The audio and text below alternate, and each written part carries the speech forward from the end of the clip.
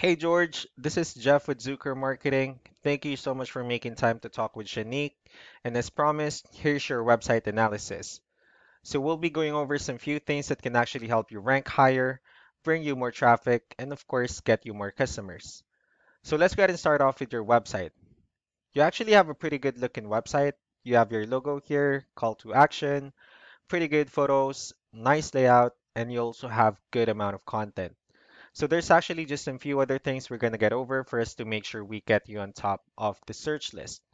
One thing I can tell you right off the bat is that Google loves content.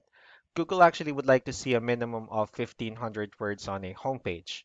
And in addition to this, the more content you'll have, the more you look like an expert in Google's eyes. So of course, if you want to beat out the competition, you'd want to have 1500 words or more. So let's go ahead and do a quick count just first to see how many words you have on your homepage.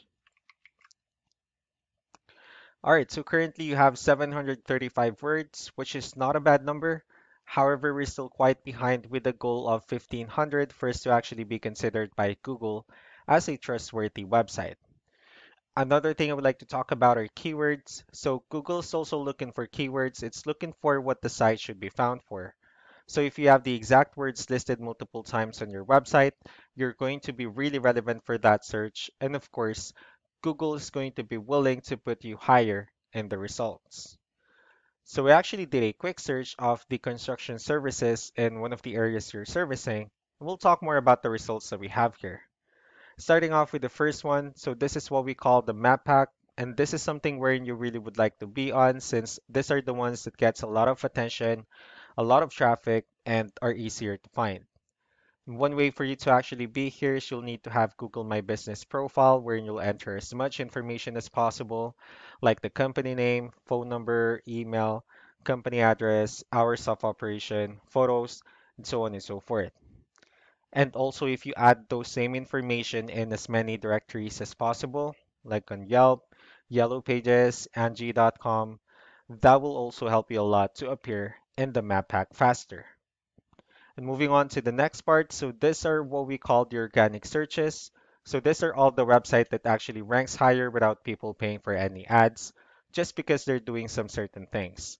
That's exactly where we're going to talk about and analyze who actually pulled up one of the top ranking website. Let's see what they have differently.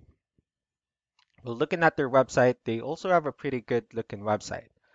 Well, they have their logo here. They also have good photos and good amount of contents as well.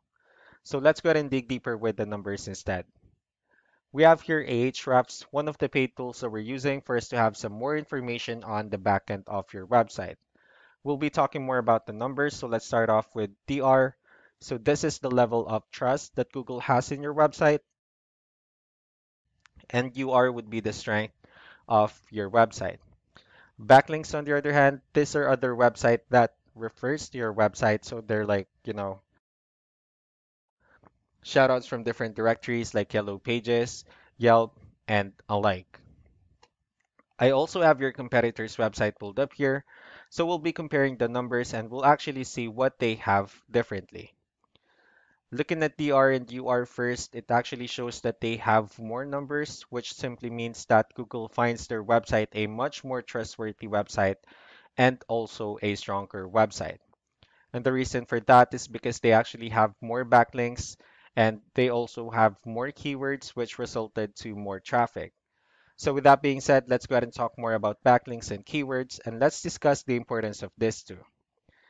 Starting off with backlinks or what we call the referring domains. So as you can see, these are all the directories they're currently listed on that actually brings them a lot of attention and a lot of traffic. That's why they're currently ranking higher in the searches. Next are the organic keywords. So these are all the keywords they have listed on their website. So when customers search for these specific words, their website will show on top of the list. And if you also look at the numbers under volume, that or these are all the hits or clicks that they're getting with the help of each keyword. So that's how important in choosing the right keyword is. That way, more customers will be able to find your website faster and easier. Another thing I would like to share about keywords is what we call the hidden keyword. So let me go ahead and look for a photo that we can use here.